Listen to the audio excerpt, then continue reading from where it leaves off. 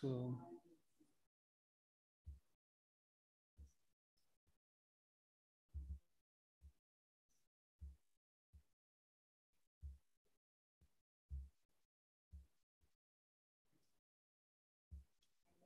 So you, Okay. So it's like that. Yeah, yeah. Can I start this? Okay. It's Significant. non- non-competitive, it's significant project. Yeah, just click start. Mm-hmm. Okay. You can, if I forget. Sorry, when I, when I start, I would like to give a brief introduction. Ah, okay. Then it will be, it will be Umrah. Okay. And then when I say the project, project, the start project, then you will start. running them. Like I said, when I read it, I- So, sorry, for this one, for this part, you, I should just press Yeah. this is when you get here. Yeah, I would like to briefly. Yeah, we have a logo Okay. and all this. Okay, I think I got it. Not too, not too difficult.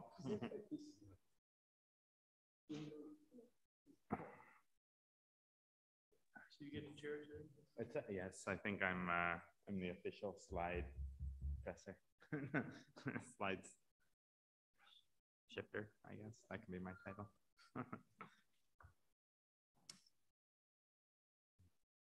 Do you have slides there? I was going to talk off the top. Oh, okay. I've got so many PowerPoints. Yeah, yeah. I said another PowerPoint. Good. I'll talk slowly. Sounds good. Okay.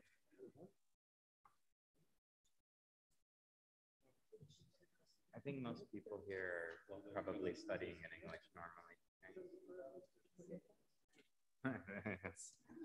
Perhaps I know a few of them.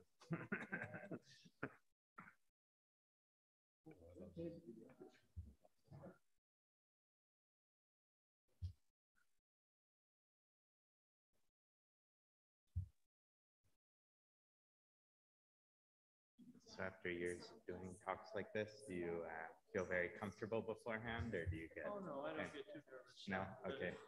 This group, I feel I know many of the people. yeah. So, and it's a little I've key. even had supper with a few people I mentioned. Hey, who were they? We okay. so glad to find a place. I couldn't believe the Zoodan in the sky is such a hard place to find for natives.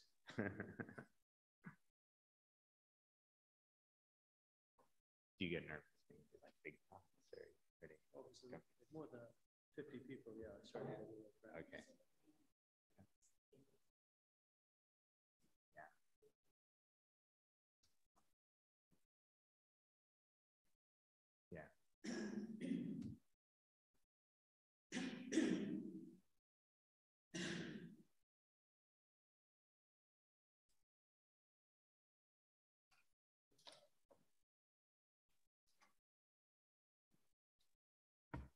Okay,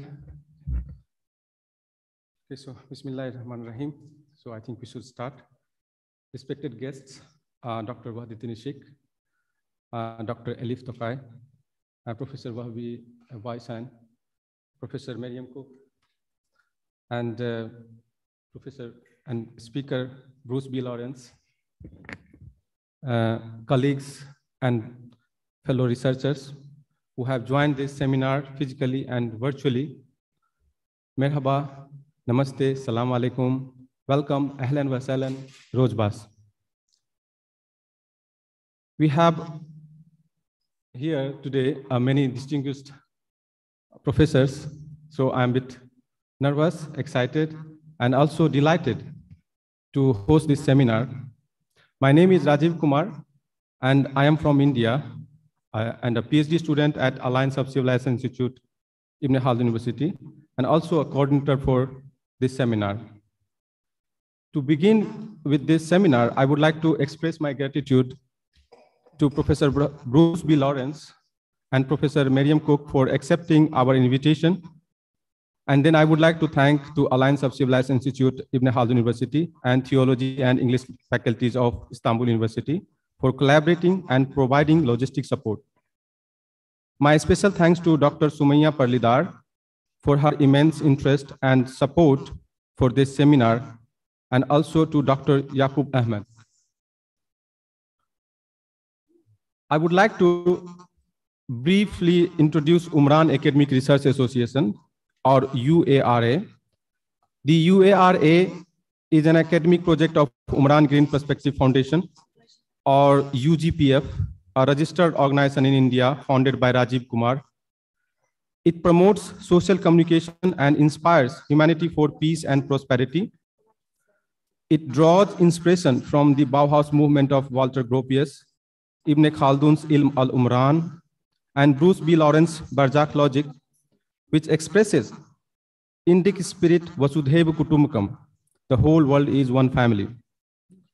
Umran Green Perspective Foundation involves a unique educational approach that empowers women and underprivileged children, brings both advantaged and disadvantaged people together, and develops environmental consciousness in society.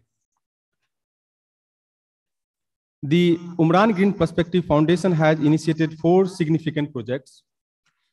The first SLY library in Bihar, India to empower education in marginalized community. The second Umran Green School of Languages, which teaches 14 languages from basic to advanced. The third project that we have that is organizing this seminar, Umran Academic Research Association.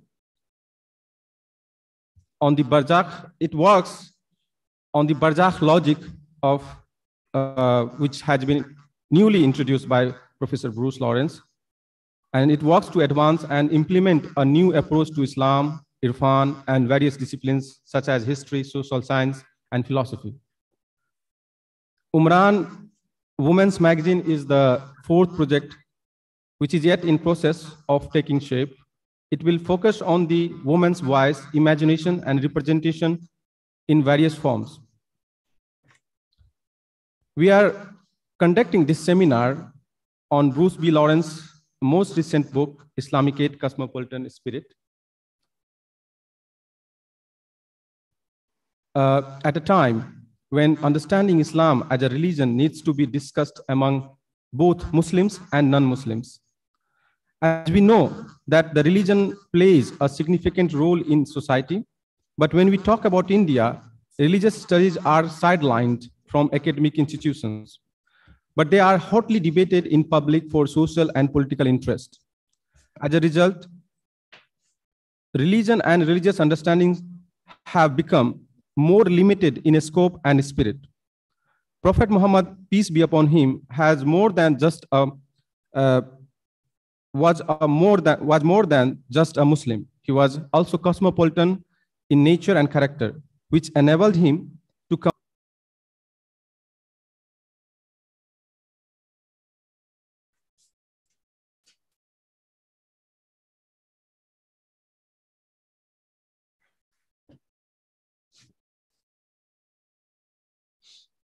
So your voice is and uh, no, uh, voice is not coming.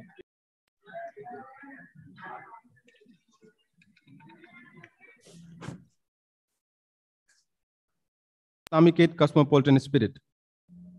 Islamicate cosmopolitan spirit is not restricted to Islam, but also expresses the Indic spirit Vasudhaiv Kutumbakam. The whole world is one family and technological advancement in the West. Prof, Professor Bruce B. Lawrence says the Islamicate cosmopolitan, uh, cosmopolitans have had a distinctive impact across the Af Afro-Eurasian ecumene at the center of civilized contact between competing yet convergent interests. Thus, the Islamicate cosmopolitan spirit defies East and West binaries, incorporates components of humanity's collective past, and pursue other a moral existence that is both aesthetic and agnostic, individual and collective. The book introduces the concept of Barzakh logic as a new methodology for studying Islamic history in a broader context of world history. Professor Bruce B. Lawrence need no int uh, introduction, but yet I will give a brief. Bruce Bennett Lawrence is the Nancy and Jeffrey Marcus Family Distinguished Professor Emeritus of Religion at Duke University and adjunct professor of the Alliance of Civilized Institute at Ibn Khaldun University in Istanbul. His research focuses on contemporary Islam as a religious ideology, South Asian Sufism, and Islamicate cosmopolitan or Muslim network, He has authored and co-authored many articles and um, books. So without any further ado, um, I would like to invite Professor Bruce B. Lawrence. Welcome, Professor.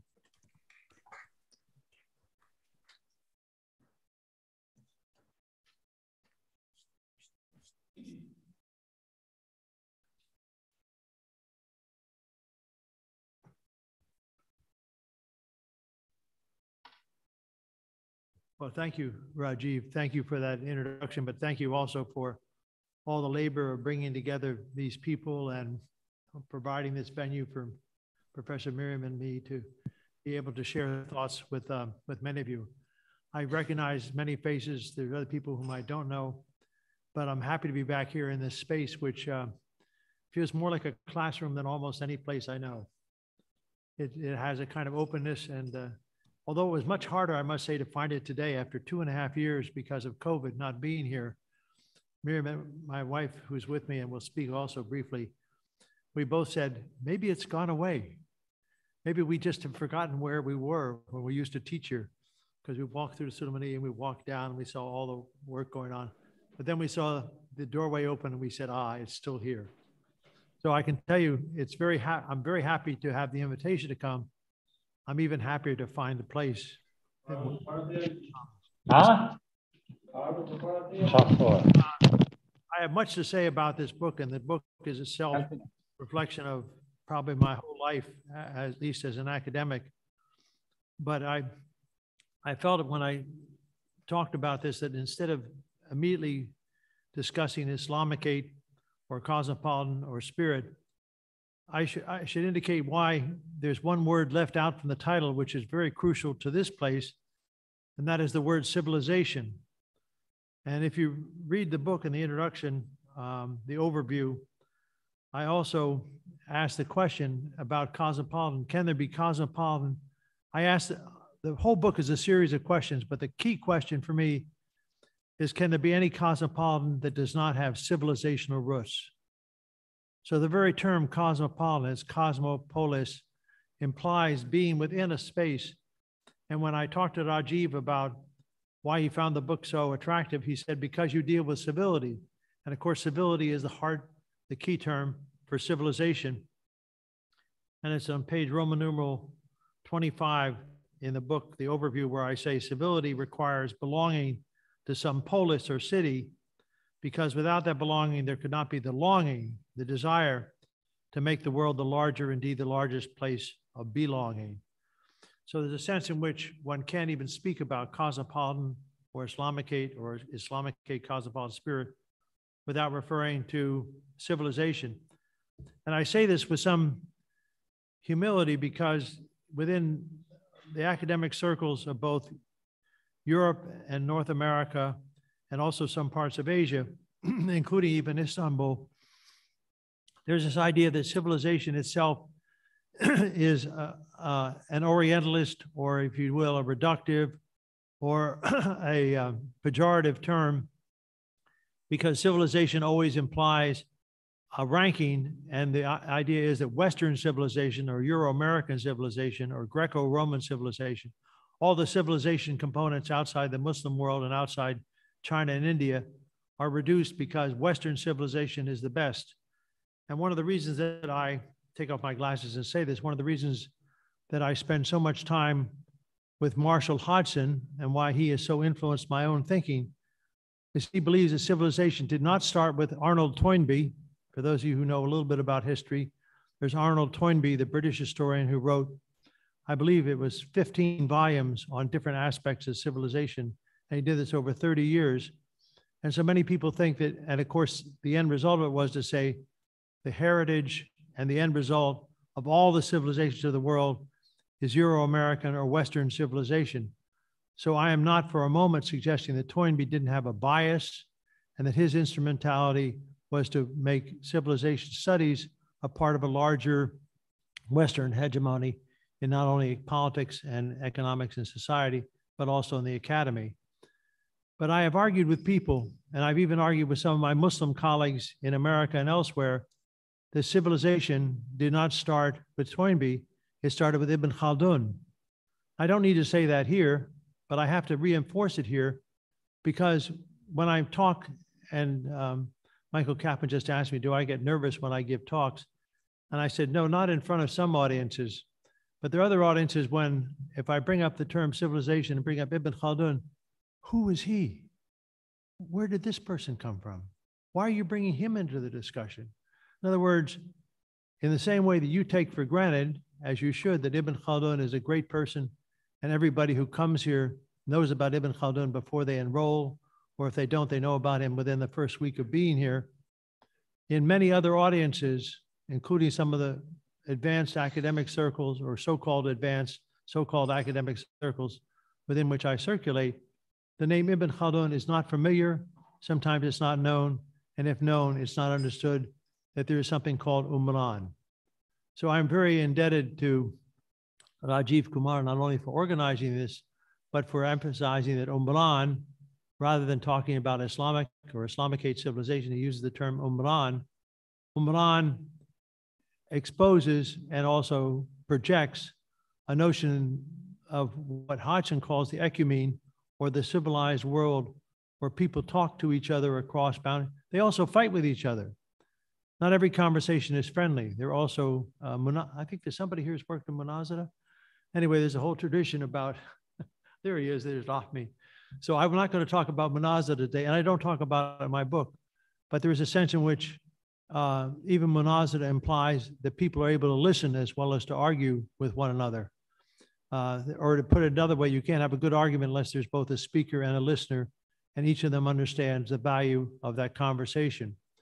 So really, and what I'm trying to do in Islamicate Cosmopolitan Spirit is to have a larger spirit, spiritual discussion, but also one with academic resonance about what is the role of Islam in world history.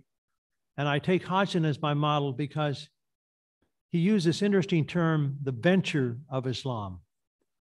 And it's a real curious word because venture can be just a haphazard exploration or it can be a deep um, resonance of activity that goes beyond your own worldview or your own understanding of life. And so, venture of Islam means venture within and venture beyond the usual boundaries of Islam. And when he talks about the subtitle, he talks about conscience and history in a world civilization. So, Hodgson is very much aware, first of all, that Islam is part of the world and not apart from the world. That what happened in terms of the development of Islam was not simply something that limited to North Africa or the Levant region or the greater part of, of, of, West Asia or South Asia or Southeast Asia, that there's a certain sense in which there's a world history and Islam is a major component.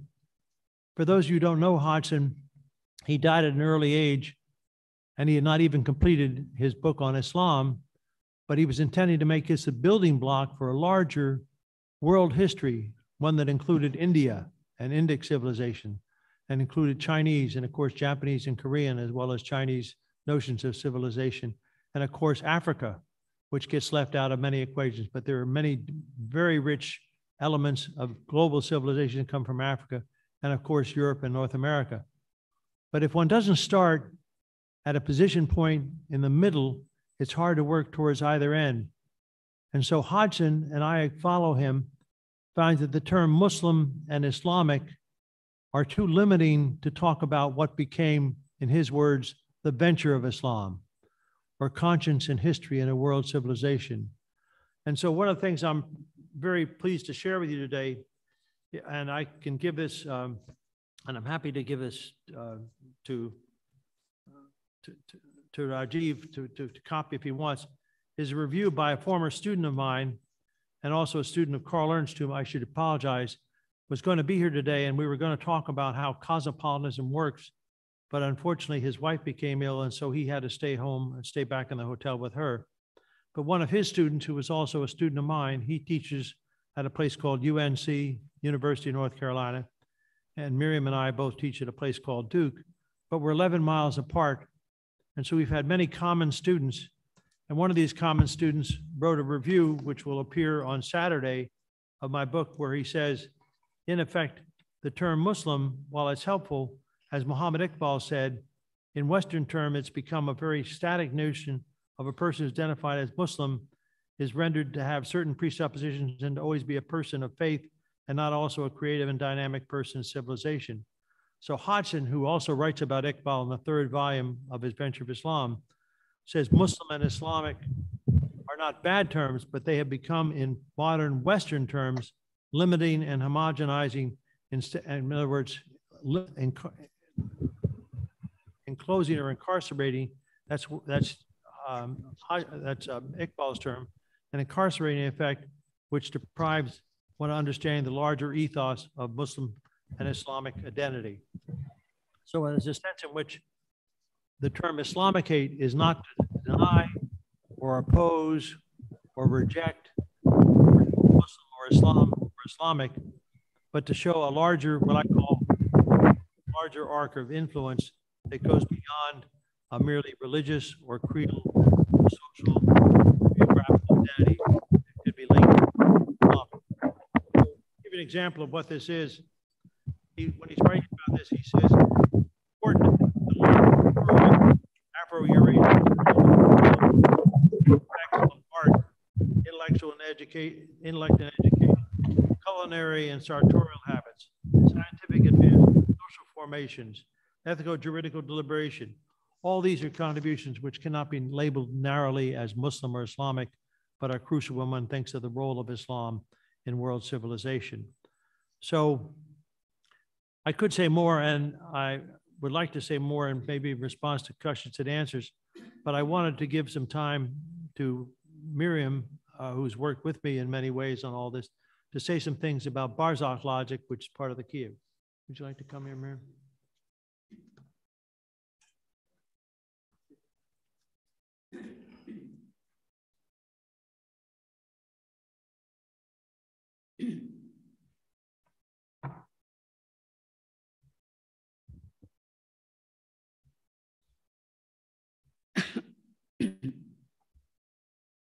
Thank you.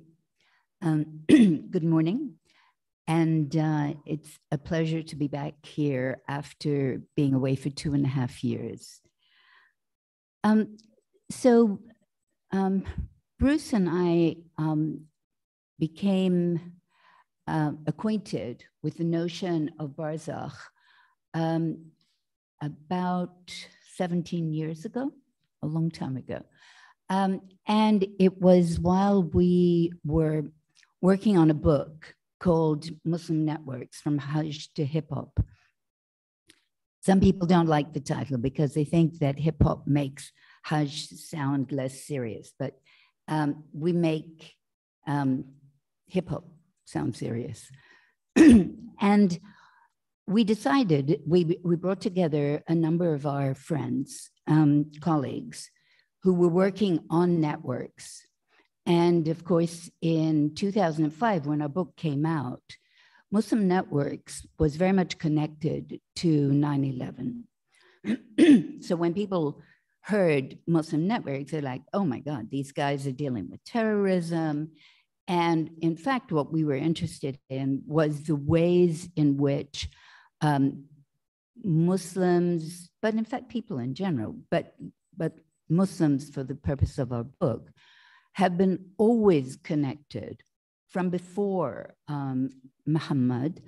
And um, as Bruce and Marshall Hodgson have, um, have said, it, there was Islam before Islam. so that's Marshall Hodgson's idea that, that there was um, the conditions for the emergence of this specific religion were already, were already there.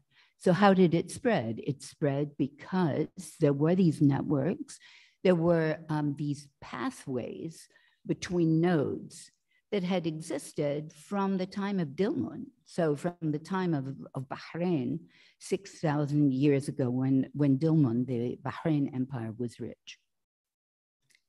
And rich because of pearls. And that is something I'm, I want to get back to in a minute. So um, we invited Tayyib Belghazi, an extraordinary Moroccan uh, scholar who teaches at Muhammad al-Khamis in uh, Rabat.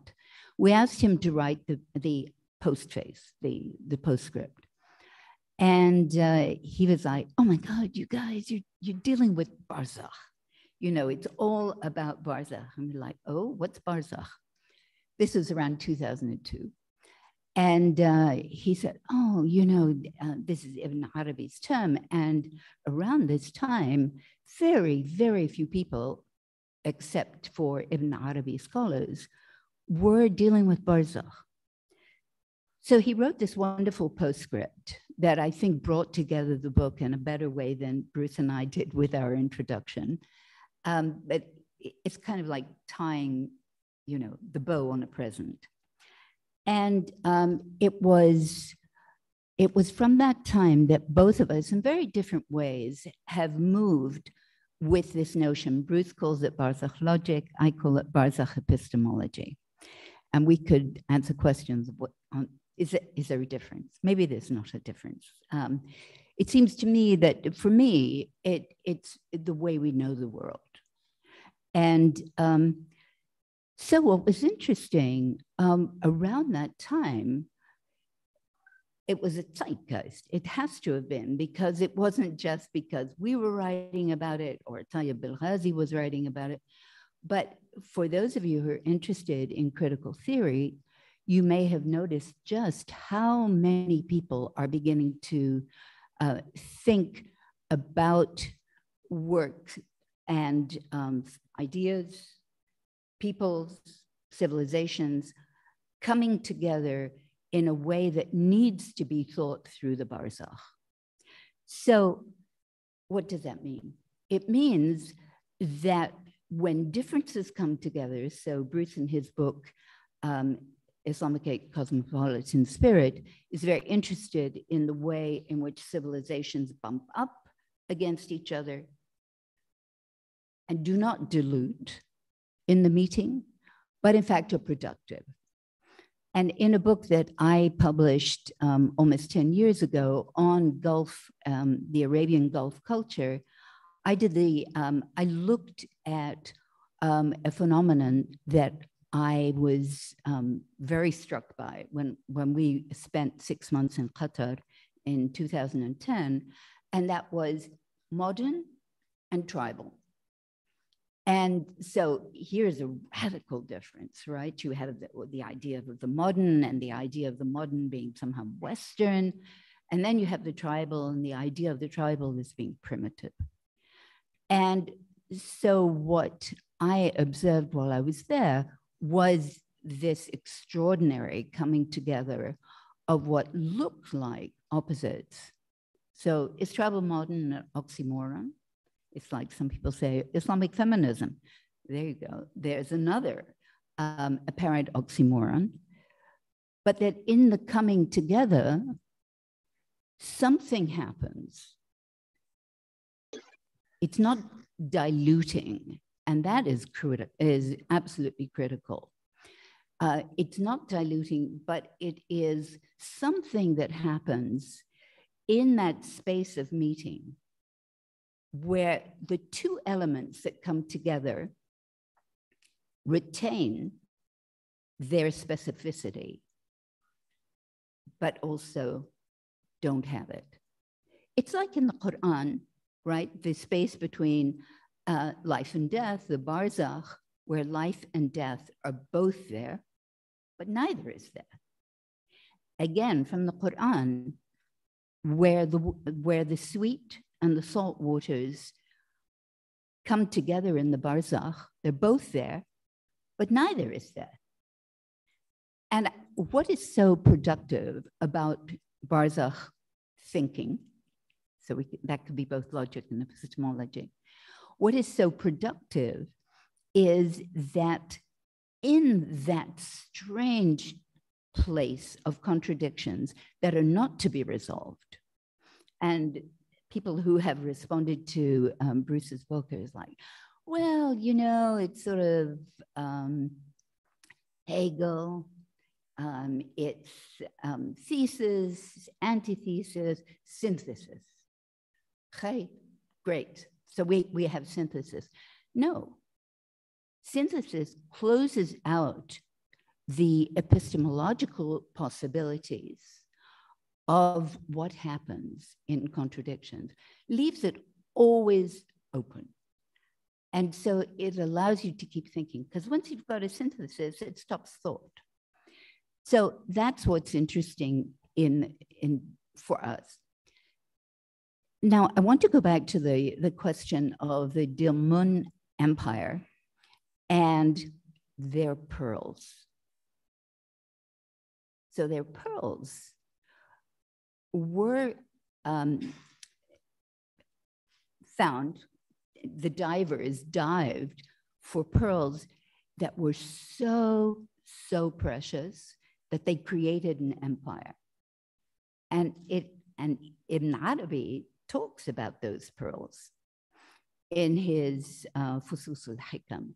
He talks about the that it is because precisely as we read in the Quran, the place where sweet and salt waters are both there and not there. And we can't resolve the contradiction. So, what is that? The waters around Bahrain are very specific. And for those who's been who's been to the Gulf, Khalij, no one. Okay, then you haven't seen something amazing. You haven't seen camels walk into the Gulf up to their knees, put their heads deep down into salt water and drink. You haven't heard then about the pearl divers who would go out on boats for weeks without water because they didn't need the water. They would have goat skins. They would dive down. They're used to diving down. Some of them can stay underwater for three minutes. And they'd fill the goat skin with fresh water. Now, where does fresh water come from? It comes from the center of the Arabian Peninsula through aquifers fossil aquifers, the water comes out pure, sweet. And because salt water is lighter than sweet water, it, it is floating above. So the reason I wanted just to spend a minute on this is that this space of contradiction that can never be resolved is a richly productive space. And what the waters around Bahrain did was to produce these pearls that produced an empire. So we can't say, as um, Bill Chittick, for those of you who um, are interested in Ibn Arabi and in Western interpretations of Ibn Arabi, um, I'm less enchanted with those interpretations.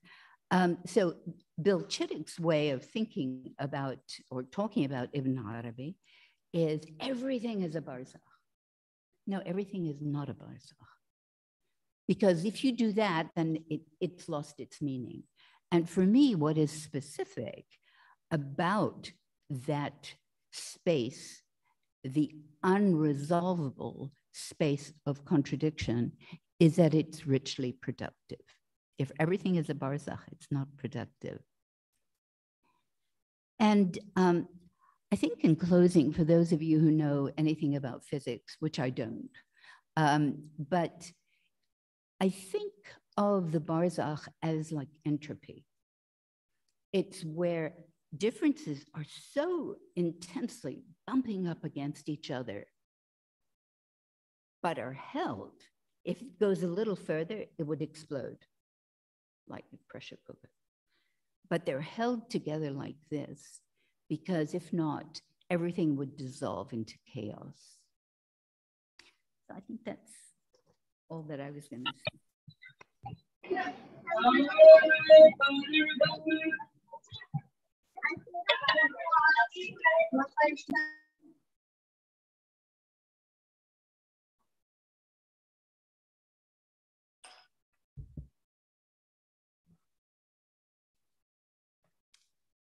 So I, I just want to say a few things to uh, conclude what Miriam said, but to relate it to the book that you've looked at or some of you have seen. One of the things that is true is this Barzakh logic pervades not only the conception of the book and the way I try to understand the nature of Islamicate civilization, but it, it pervades the way in which I talk about certain major persons whom I describe as exemplars. And I think one of the things that's most striking to me about the, some of the responses, and including this future review, is how many people are remarking that it's not simply something that's limited to um, the Arab world or even the early structures of the Irano-Persian world, Arab Iranic Persia world that Hodgson describes, but it's also true of across North Africa and sub-Saharan Africa, but also parts of Asia, South Asia, and Southeast Asia.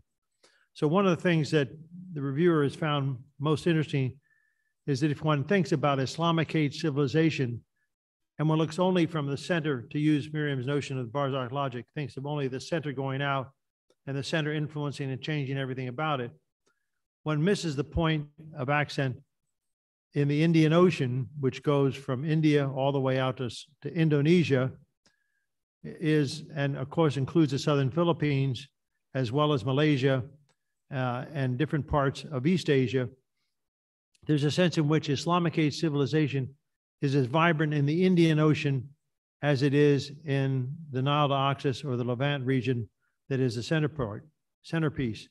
So what often happens to both Miriam and me and others who talk about Islam and Muslim is the first reflex is, oh, so this is how Arabs became important. And the, there's a tendency not only to reduce Islam and Muslim to religion, but to reduce it as Arabs as the carriers or the major components of religion. And occasionally I'm mentioning Persian, but thinking of Persian as only limited to Iran. So there's a double exclusion, and this is the last thing I want to emphasize. Not only am I writing positively about civilization as something that puts Islam in the center of world history and is best known as Islamicate civilization, but I'm also saying that neither Arab nor Persian dominate as ethnic or religious or linguistic categories. So the other word I use frequently in this book, which also comes from Marshall Hodgson, is the word Persianate. So just as Islamicate does not reduce or eliminate Muslim or Islamic, but expands it in new domains, so Persianate means not simply using Persian as if you are reinforcing Iran, as if Iran has always been a stable, fixed geographic entity, and everything Persian is Iranian, and everything Iranian is Persian. But there's also Persianate and I don't need to explain this to Rajiv, but even he must find some people in India amazed when you say Persian is as much an Indian as it is an Iranian language. So that, for instance, in the 17th, 18th centuries, I talk about this a little bit in my book. In the 17th, 18th centuries, there was more Persian literature produced in South Asia than in present day Iran. So it's an irony of history that Persian or Persianate, the extension of a Persian uh, element, that's both linguistic, but also I want to argue ethical. And this is the last thing I want to say before I open up the questions, is I not only make an argument about geography and history and terminology, but I also want to make an argument about ethics. And the key word I use here, which I don't need to explain to a Turkish audience, but I can tell you every other audience is stumped by the word adab or edeb in Turkish. But I say if you want to illustrate why there is something thing as an ethos, and why when Hodgson talks about history, conscience and history in a world civilization, the conscience part of that is partially linked to akhlaq and ihsan, but it's mostly represented by this term adab, which is not limited to literature and not limited to philosophical discourse, but also to everyday activities. So, for instance, Irfan Ahmad, whom I've not met except uh, thanks to the Ibn Khaldun University graduation the other day where I saw him for the first time, when he writes about uh, critique, religion as critique, the term he uses, and he talks about it a lot in that book, is adab, as is practiced by everyday people, even people who are illiterate. So adab is not something that is limited to the courtly or elite or privileged classes.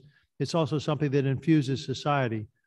So this notion that I want to leave you with, eh, that is the larger purpose of talking about Islamicate and cosmopolitan and linking it to spirit and using Barzakh logic, is the furthest reach of it is not a conversion, as it were, of the whole world to Islam so that everybody becomes a devout Muslim, but that everybody who studies history understands that at the core of world history are many civilization influences, but Islam or Islamicate civilization is indispensable for the whole long stretch of civilizational history from the ninth century to the 21st. So with that, I'll open it to questions.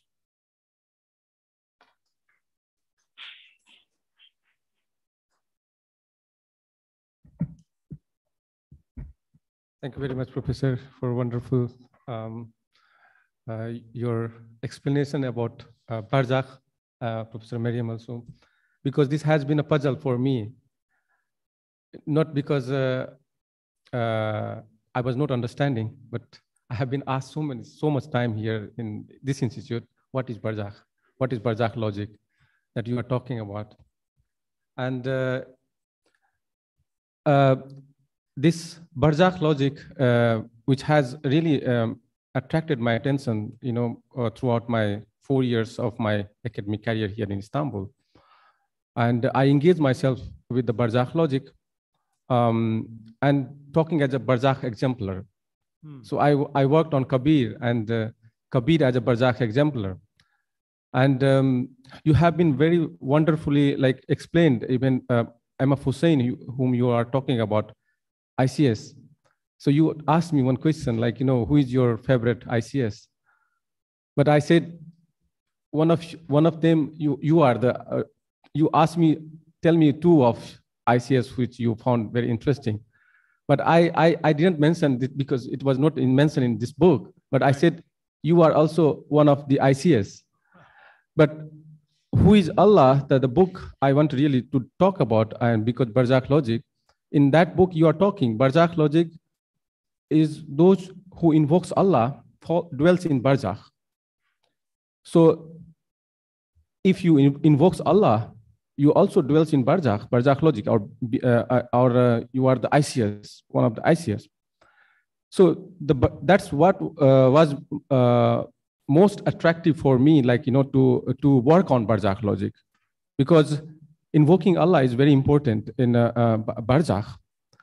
Uh, and to connect the, uh, you know, it talks about at two levels. One is barrier and another is bridge.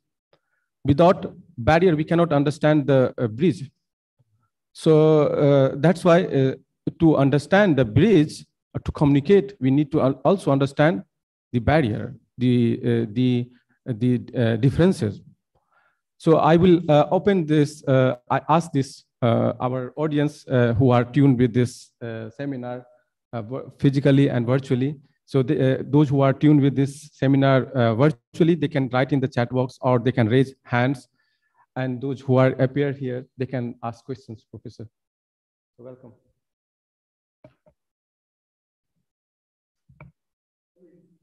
Let me just say that on, on the question of um, Barzakh logic and uh, Allah.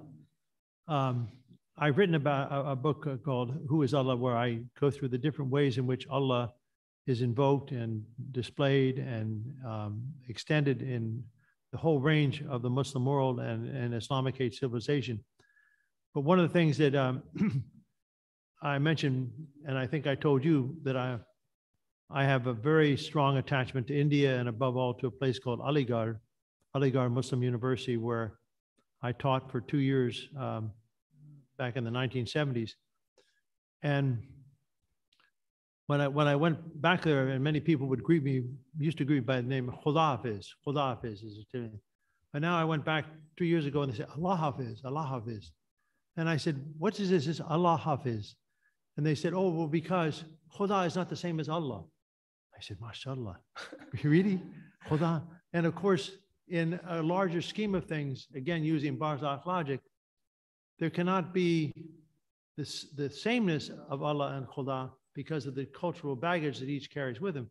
But there also can't be the complete separation. So there is, but but in the minds of many, too many people who I would gently label as Salafi, not extremists or violent, but Salafi Muslims in outlook, Allah cannot be translated in any other word, including Khuda.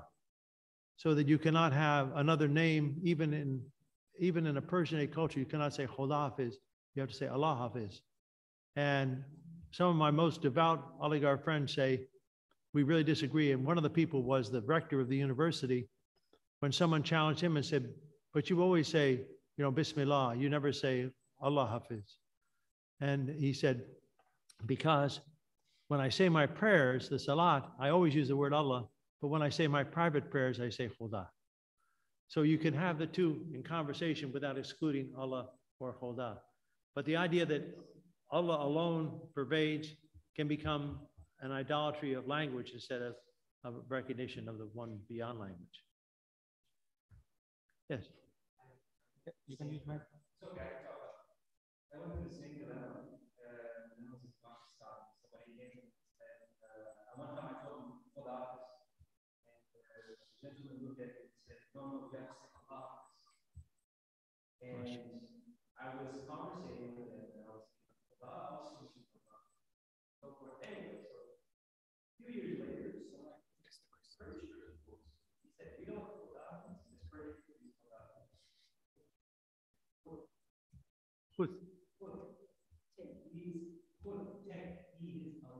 Allah. He is by himself. Allah He is by himself. He is the one. Oh. The word Allah represents divine wisdom. Well, that's so interesting. I never heard that before. I don't know if it's linguistically true, but it, but but but but but philosophically and theologically it makes sense. So let's hope it's linguistically true. But thank you for that example. I, I remember you from before. What is your good name? Najin. You, you were a student in one of my classes here, right? Yes. But you weren't a Dalibal. You didn't have a beard then.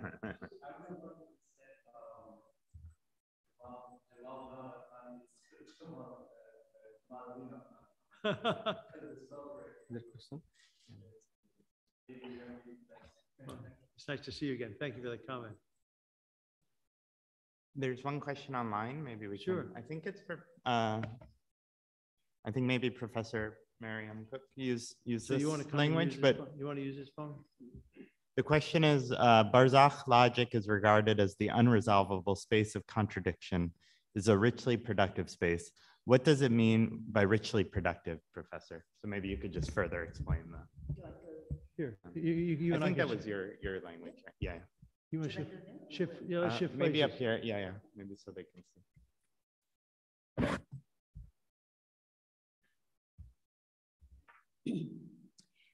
Thank you. Who, um, what's the name of the person? I think it was Roslyn. Is that right? Roslyn?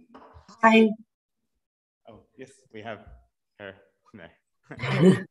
Hi. Yeah, um, yeah, thanks for the question. So I could go back immediately to what I just said, and I'm going to need tea because I had a cookie and it was too dry. So I could just repeat what I what I said about um, the waters around Bahrain, where I think there are only a few other places in the world where water comes together like that because in most places, water it becomes um, there's a special term, you know, um, when they just kind of melt melt into each. No, it's where where water is slightly salty. This is not the case for for water barzakh.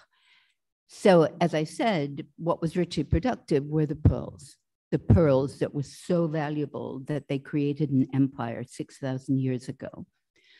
Um, for me, the, um, the richly productive is to think about um, the culture in the Gulf. And for many people, it's like, oh, they don't have a culture of their own. You know, they're just trying to be Western. And then you have the star architect, you know, star architects so the Starchitect um, lagoon um, that looks a little, I guess, like Chicago. So it's very easy to say, well, you know, on the weekend they're primitive because they go off into the desert and they are acting like their grandparents. Um, they're now beginning to, um, well, it's been actually for about 12 years, they have had this song contest. Um, so Sha'ir al Malyoun, the um, million dollar poet. And for to participate in, in that, you have to use the language of the Arabian Peninsula that their great grandparents used. So this going back and and tribal being something that is um, class oriented. You can't say that you're tribal unless you can say which al you're from. So if you know Arabic, ahl is family, ahl al bayt. Um, but ahl is, is also al. So people who um, whose name were, for example, Uthman, right, with a, with a hyphen, a dash, they now, and a small a, now it's a capital A and there's no dash, and it means that you are of the family, of the tribe, of whatever. And it's hugely hierarchized. So, so what's richly productive about that, Rosalind? um, what's productive about it is that this is a new identity that is so easy to reduce to either one, copying the West, or being unable to successfully copy the West, and therefore you have to fall back on onto the tribal. But what happens if it's together? And a term I like to use for those of you who um, uh, like Rahmi, um, more maybe into critical theory, it's like métissage. You, métissage, it's a French term, it means braiding. And this in, emerged out of post-colonial um, theor theorizing. It's where um, the identity of the, the colonized and the pre-colonial identity are braided together. Now, when you braid, the braid is made up of parts that are separate but together. And so, um, in terms of identity, this would be an example. Um, richly productive, um, I'm giving a talk this afternoon on a, a book called Kitab al Wajd with Tawajud, where I'm looking at Wajd, so ecstasy, as being the barzakh between Tawajud and wujud. A space that can never be spoken about, a space that is um, the mirrors between tawajud and wujud. So, what's richly productive about that? It's the kind of literature that can only be produced in the state of tawajud. In other words, in the space of indication toward ecstasy. And of course, wujud never attainable. Fana in Wajd, but wujud un, unattainable because that's that's khuda, that's God.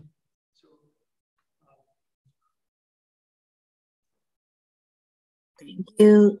To answer your question, since Miriam gave that uh, wonderful example from literature, let me just say that I also am giving a talk in the same gathering where Miriam and I are, are present this afternoon, but I'm going to focus on architecture.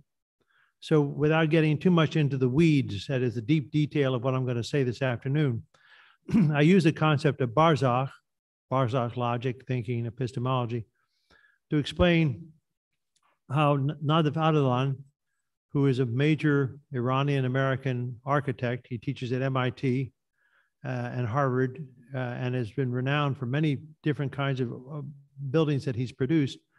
But he's now got one in Khoy. He's got a project in Khoy, Iran, to do the mausoleum of Shamsi Tabriz. And I must tell you before I met Nader Ardalan, I did not know that Shamsi Tabriz were buried in Khoi. And I will just say as parenthesis, it's not entirely clear according to history that that is where Shamsi Tabriz is buried. But for people in Iran, especially in Khoi, that is the place. Shamsi Tabriz is buried in this particular graveyard, and they've done a testing of the soil, and it does go back 13th century. So they're pretty clear that it's somebody very ancient who's buried there, and they're pretty sure, or they want to believe, and they have believed, and they now want to commemorate the place as a mausoleum of Shamsi Tabriz. So when I was talking with him about the nature of this project, I mentioned Barzakh. He said, Barzakh, that's like the super ellipse. And, and I must tell you, this is very new. If new to you, it's new to me. I never thought of Barzakh in concrete. I thought in terms of water, as Miriam has talked about it. I thought about it in terms of different aspects of behavior and thinking, but I never thought of it in terms of architecture. He said, Oh, no, this is like Piet Hein. And then he mentions this Danish mathematician, philosopher named Piet Hein, who had a notion of the super ellipse. And I don't have a picture in front of me, but I can do it without a picture. So you have a circle like this, and you have a square like this, you have a super ellipse, which has elements of both a square and a circle. It's neither a square nor a circle. It's in some sense both a square and a circle, but it's also beyond a square and a circle. So he says the super ellipse for me is now clearly an example of Barzakh logic.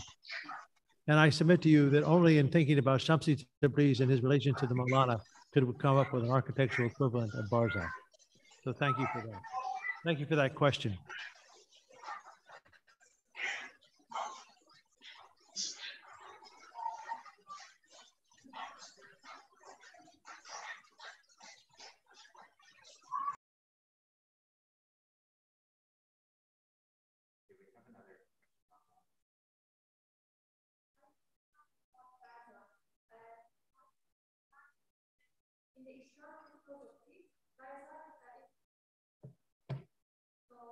Related to what?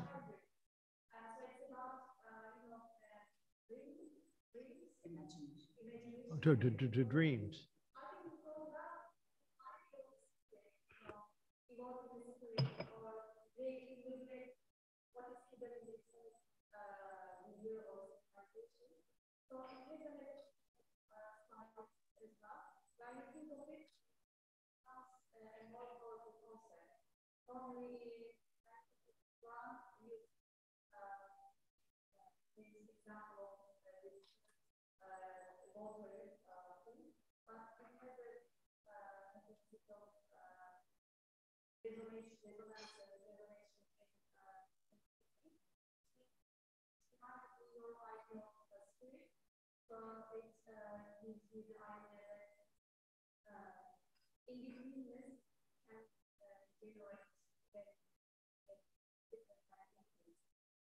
Yes, that's very. Do you want to say more about that?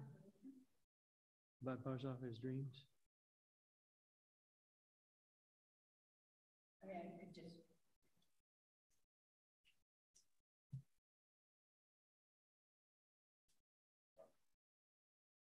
So if you're talking about takhayul, right? So um, that's obviously Ibn Arabi's um, term that the Barzakh the barzakh for him is the mirror and it's a Muhammadan reality and its imagination and its dreams. So I critiqued earlier Chittick's notion that every that in Ibn Arabi everything is is barzakh. But I think what, what is crucial is to actually let's just think about ourselves in the morning. You wake up, you're tired, there's a dream. And then you're waking up, and sometimes you can't make a distinction between what you were just dreaming. Was that something that happened yesterday? Or is it my dream? And so, in that space, you're both awake and asleep, but you're not awake and you're not asleep.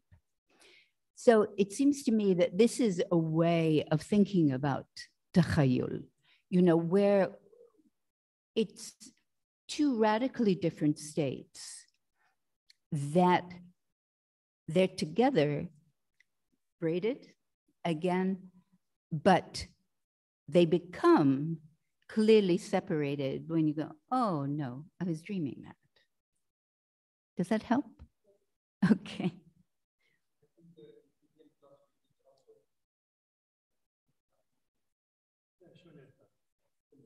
Emptiness.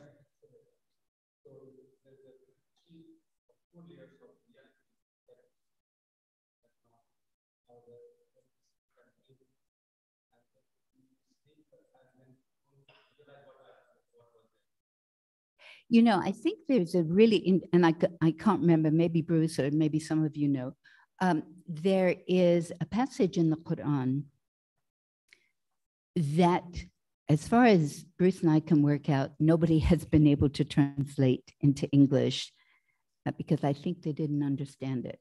Um, so Bruce is um, translating the Quran with um, Rafey Habib, and I've been working on it so is this passage about, you know, God takes takes you and then he sends you back and then he takes you and, and it's like what is this? I mean is this reincarnation or whatever?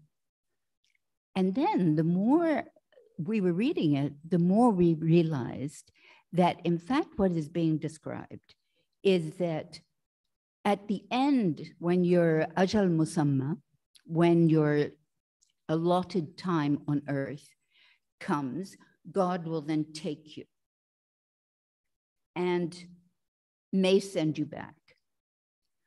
But in that same set of ayahs, God does that during sleep.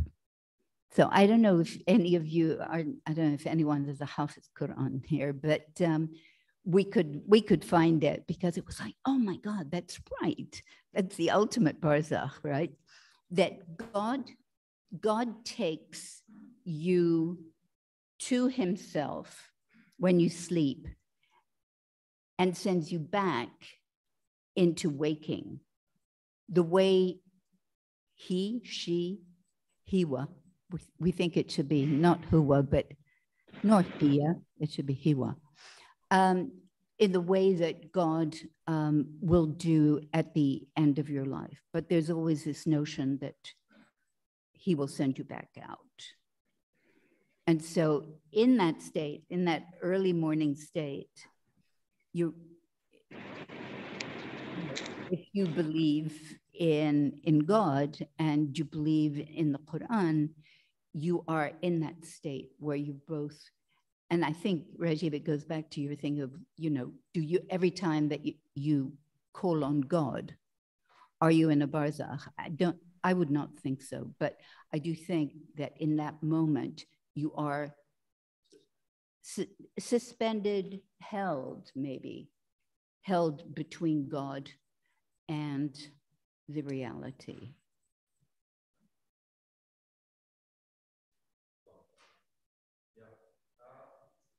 Bruce, sorry, can just come up here so then we can both answer. Yeah.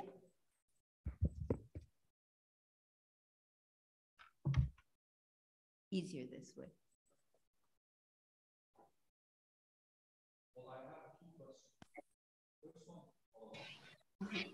Well,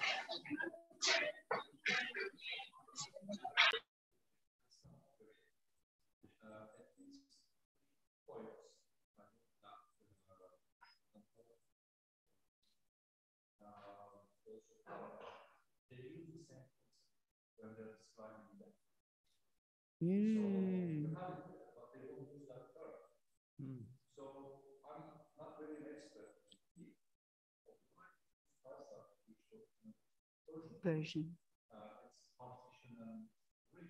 However, when it comes to uh, uh, you know,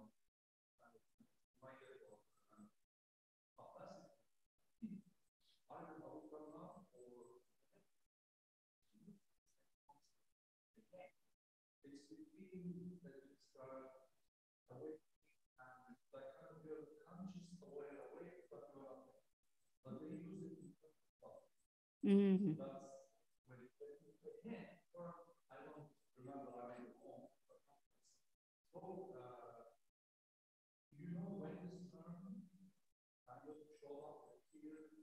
Theoretically. So you're talking about when did it appear, sort of theoret theoretically, because obviously it it's been there, and uh, you know.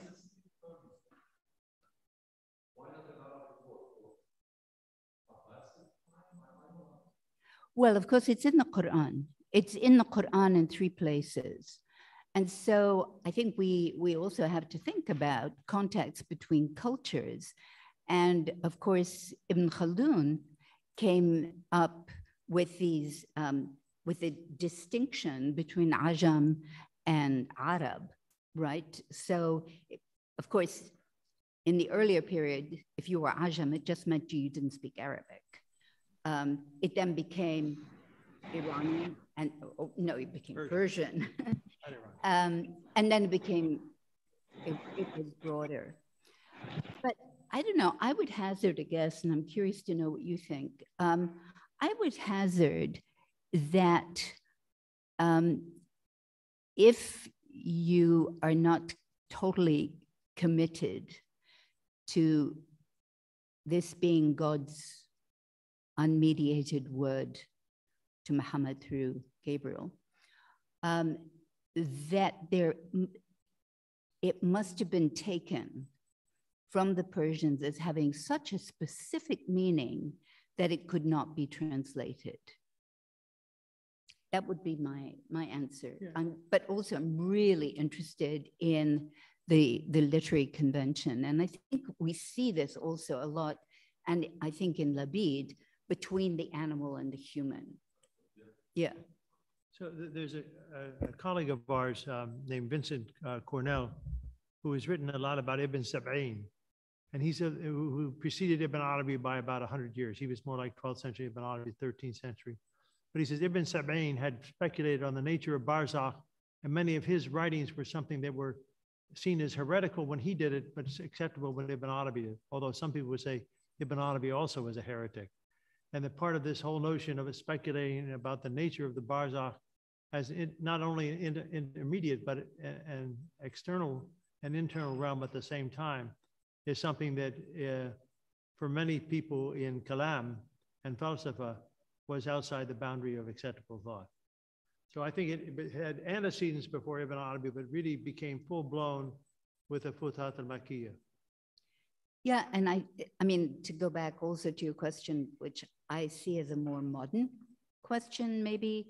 Um, so we have Ibn Arabi, according to Chittick, saying, um, you know, everything is a barzakh, which means it has no, no that has no meaning. You know, if everything is a barzakh, then then it's lost its meaning. So we, I think we have to stick with something that is, um, you know, is it proto Hegelian, post Hegelian? It's kind of in that space. Um, but as I was saying, what for me has been so interesting is that somehow there was something in the air, you know, Zeitgeist, for those of you who use some German um, words. And the spirit, actually, Geist, the spirit of the moment, yeah. um, where somehow Barzakh has entered into post-structuralist language. And, um, but specifically that word. Sometimes with, you know, attribution to Ibn Arabi, um, but sometimes not. But I think it's a very recent phenomenon. And I think that at a time that is after Huntington's clash of civilizations. And this institute, which is why we love to be here, um, this institute's and the UN's reaction to Huntington after 2000 and after 9 11 is that these differences that have been so radicalized so binarized um, that there has to be a way to think beyond clash to, to alliance and just a, a short point. Um, when Bruce and I were um, in Romania a few years ago, I was teaching in Bucharest. And um, we were very amused that Romanians were extremely angry with Huntington. I mean, we were too, but what upset them is that he drew the line through the middle of Romania. So Romania is neither in nor out. It's a, it's a Barzakh country. But they didn't like it because they felt it, they'd been split apart. So I can't wait for your second question.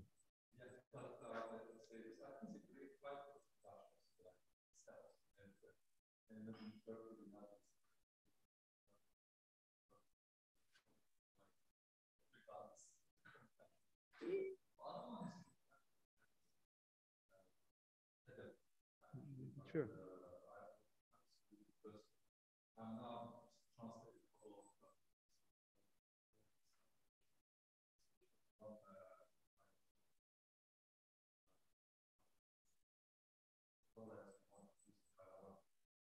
Yeah. Yeah, Sure.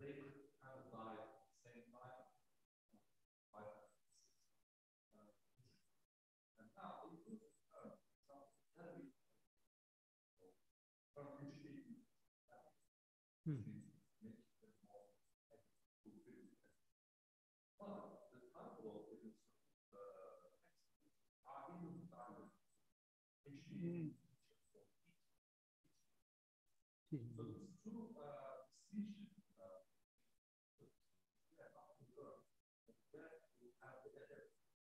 Mhm.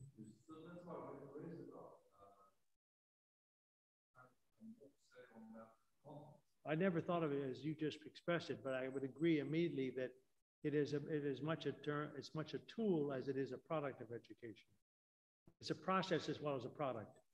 And adab is not only is it's not only what you say, it's how you how you say. It's the performance as much as the meaning.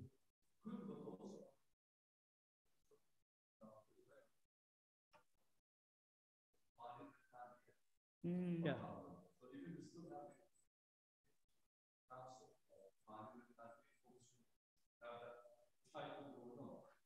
So I thought where you're going to go in the discussion I've often had with people is what is the difference between adab and akhlaq? Mm. And in my, in my view, akhlaq is much more formalized doctrines or principles of education or good conduct, whereas adab is the spirit of the performance or the activity of good behavior.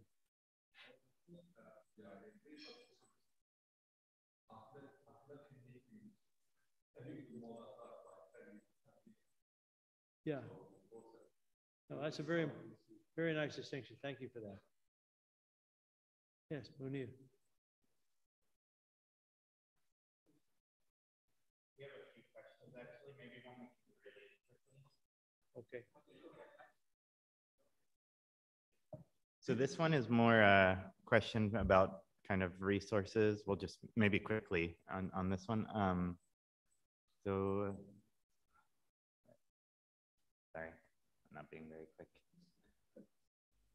Okay, uh, as Professor Lawrence has taught the venture of Islam in university classes for 35 years, can I ask the professor if he has any of those courses available for the general public or if he can suggest other authors' lectures or books to better help understand Hodgson's book? So just a So we have, a- request we- for. we have an hour? So we, we have an hour to explore that question. So um, I, I would say with all humility that um, Hodgkin is both uh, a resource and a disease.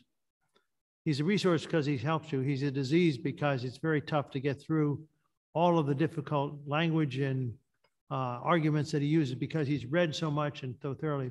So I would say the best way to use the term shoehorn or to gently ease yourself into thinking of Hodgson using his terms is the article which I mentioned in my book, but uh, I've also used when I've taught here uh, in uh, the Alliance, is the the, the mukhtasar, the epitome, uh, the consolidation of Hodgson in, in, a long article in Encyclopedia Britannica called The Islamic World.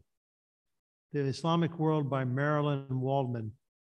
You, you know this, Erjaman Khoja, don't you? That it, she was his last student. Marilyn Waldman was Hodgson's last student, and she was a committed teacher. And she also recognized that not everybody could read Hodgson and feel as if they had a good morning coffee. They would sometimes feel they've had something that's too strong or not um, clear enough for them. But Marilyn Waldman has this wonderful thing called uh, The Islamic World, which I think is about 50, 55 pages in Encyclopedia Britannica.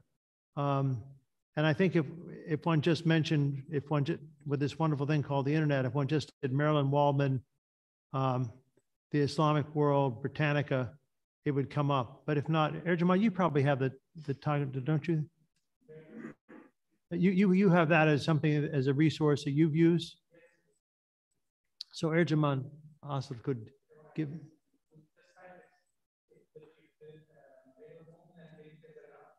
Yeah. And so I, I, I think, yeah. And there also is a, a very interesting um, recent book that came out from the University of Chicago about uh, uh, Islam and world history, the venture of Marshall Hodgson, which, which has some very interesting essays about how you read him in the, in the, in the 21st century. So there, there, there that's a, a, new book that came out, I think 2018 from University of Chicago called Islam and World History. And the subtitle is The Venture, you, picking up on Hodgson's own title.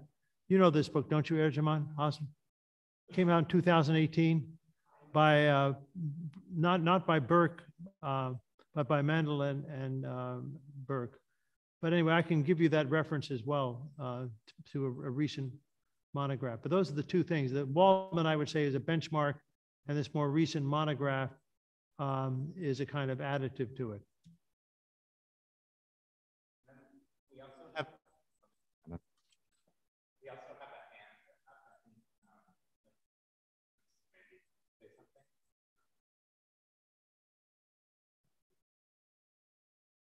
Uh, Mateso, can you address your question? You can open your mic.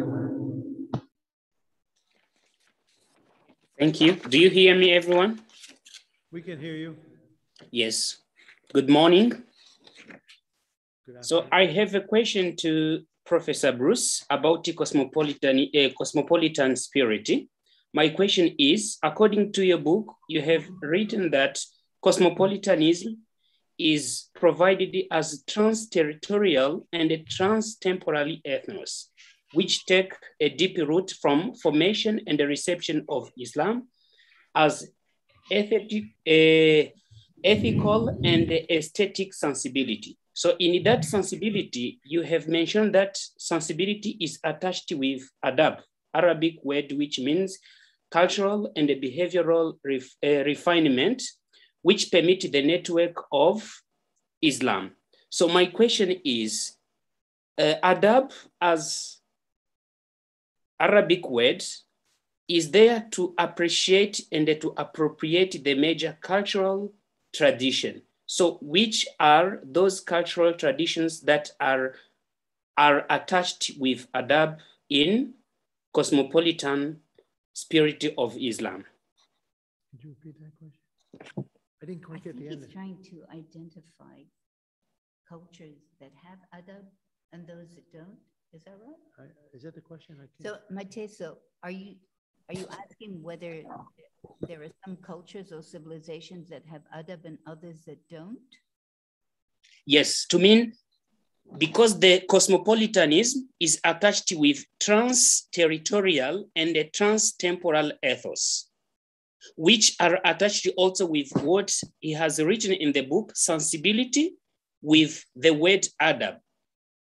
So I would like to know, adab is allowed with the word, with appreciation and appropriation of the major cultural traditions. So what are those cultural traditions which are attached with adab? What are the, Do you want me to try? go ahead. I'll just quickly um, respond here because I think that there is a danger of falling into generalization and also of praising some cultures as being what mu'adab and and some that aren't because be'adab Okay, yeah. So I think we cannot or should not talk about a civilization or a culture or an ethnicity or a race or a gender as having as having adab and others that don't because then we're back to clash of civilizations because in clash of civilization the ones who don't according to huntington um, those who don't have adab are the muslims and the chinese and those who do are the west so that kind of thinking, I think, is, is very problematic. Um, adab, clearly, and, and Bruce will talk about this, but this is the way in which, to go back to the earlier question about tarbiyah, so bringing up children to have a certain notion of beautiful behavior is, is individual it will work within a cultural context, but you can't talk about the culture as a whole because what do we do with the violent and the evil? So it's, for me, much more individual. So I would I agree, of course, with what Miriam says. I would add to it that one of the things I stress in the book is that it's impossible to do global history, world history, um, a kind of history of the Anthropocene era, which some people like to use now to talk about Anthropocene stage of world history. It's impossible to do any of these histories without thinking about the empires. And so it's often very derogatory. People say empires are lost institutions. There are things in the past. There's no empire today. Um, so why do we talk about the Ottoman or the Safavid or the Mughal or Indo-Timurid empires? But actually, part of the purpose of my book was to say that history is not teleological. We don't go from empires to post empires or colonies to post colonies or nation states to post nation states. One has to look at civil society. And I think this is the strength of uh, the course that um, Professor Heba Raouf teaches here on global civil society, that individuals matter, but individuals matter in collective ways and ways in which they interact and benefit from, and of course, sometimes in ways that are not helpful to other human beings. But you have to look at the purposes and the structures of civil society and the individual purposes without condemning or praising the society as a whole. So I think adab operates in that, if I can use it, the Barzakh realm between the individual and the state or the entity, the political entity. Uh, and it's neither one, but it's also both together in a way that's not, not that neither can claim. Yes, thank you for that. So, in short words, can we say that? Do you hear me? Ah. Okay, so we, we have to take, um, uh, we have very less time, so we will be taking okay, okay. questions and after that. Thank you. But you can uh, write uh, some, uh, some, somehow later, so we can uh, communicate. So okay. we have a question there. Okay. Yeah, maybe somebody in the room that's taken up.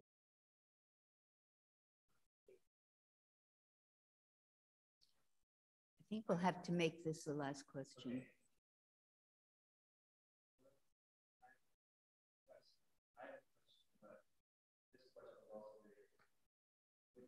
Why shouldn't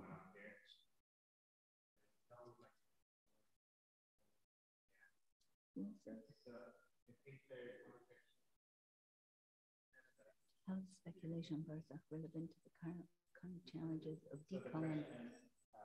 How is yeah, how is the speculation on Barzakh relevant to the current challenges of decolonizing Islamicate and reviving Sharia as a moral, legal, global system opposed to Western modernity? So it sounds as if that person has already answered the question. you, you, you, you can't have either one of those positions and, and, and invoke Barzakh logic because Barzakh would not claim that pre-modern, you know, pre-colonial identity was something absolute that, that characterized all societies or all aspects of society, uh, nor that the Salafi way of excluding everybody who's not uh, a person who worships in, in Arabic and, and acknowledges Arabic as the only Muslim language could ever succeed. So both of those positions, empowering the pre-colonial past or looking at the post-colonial Salafi alternative, neither one of those can be Barzakh. They can only be dystopia. Yeah, no, I think. So should we find it? Um, Um, I mean, that, that- it's the same question. No, no, no, as the one before.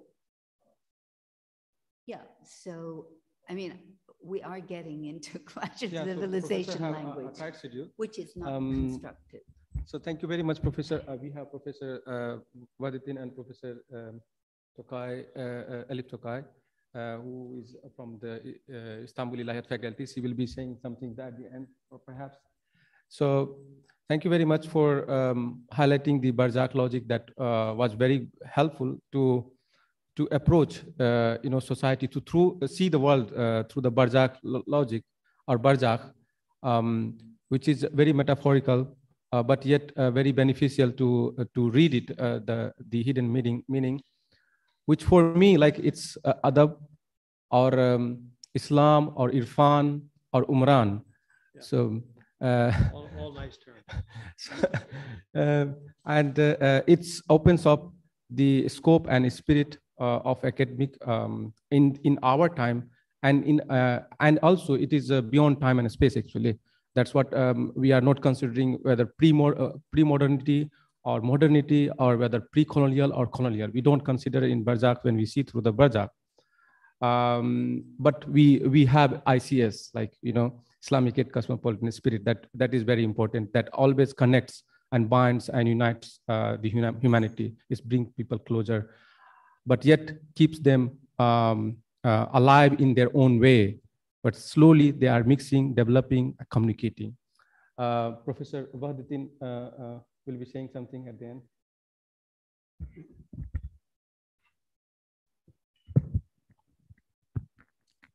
Teşekkür ediyorum Buruz Hocama ve Mirim Hocama.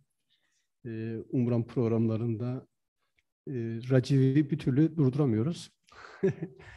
Sağ olsun e, renk katıyor programlarımıza. E, işin doğrusu biz bu programların burada farklı kurumlarla bir arada yapılmasından memnunuz. Özellikle İstanbul İlahiyat Fakültesi'nden Elif Hocamızın da katılmasından dolayı teşekkür ediyorum. E, Buruz Hocamızın bu kitabını inşallah bu dönem daha yakın müzakere etmek için bence bir program tertip edebiliriz. Kendi öğrencilerimizin de burada öğretim sürecinde olduğu dönemde. Teşekkür ediyorum. uh, dr tokai would you like to say something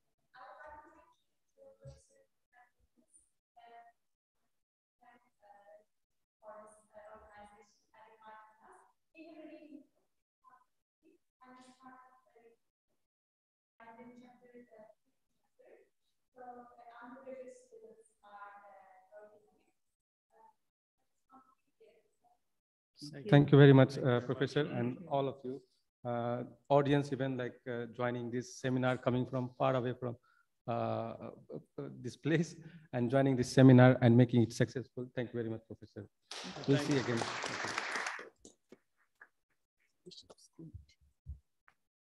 Very much. So we have um, some of you can join us uh, uh, at lunch. Uh, Professor will be. Professor, would you like to? Welcome. So some of you uh, who wants to have a lunch with us, uh, we have lunch there.